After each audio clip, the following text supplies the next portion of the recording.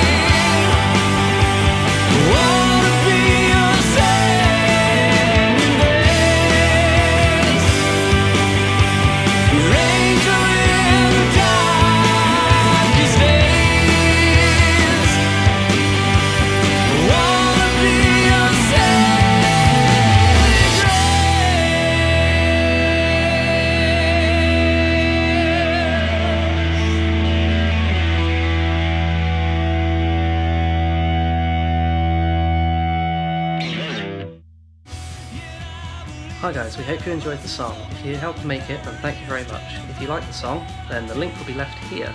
And uh, don't forget to subscribe. Thanks.